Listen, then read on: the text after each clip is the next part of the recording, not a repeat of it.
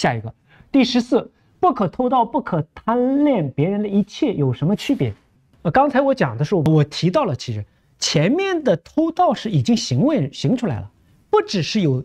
欲念冲动充满了他的心，以至于意志同意，以至于他行出来了，贪恋、奸淫、杀人都是行出来了。行为上，贪婪呢是在意志同意之前的阶段，心里面已经有了欲望，有了冲动。还没有决定去做的事情，但是